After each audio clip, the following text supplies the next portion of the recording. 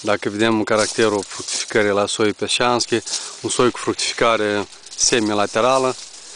vorbim de circa 50-60% din muguri sunt fructifere, cu parte fructe. Iată vedem pe ramuri recolt foarte bun anul ăsta, ca și în fiecare an, de fapt, la, la soiul respectiv, la soiul peșanski.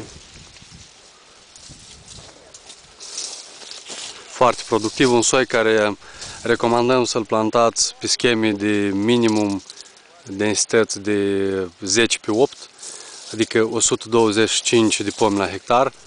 dar optimum 156 uh, de pomi la hectar, adică 8 pe 8, uh, ajungând până la scheme de 8 pe 7, 178 de pomi la hectar, la care putem spera să obținem uh, circa o tonă jumate de, de nuci în anul 8 deja.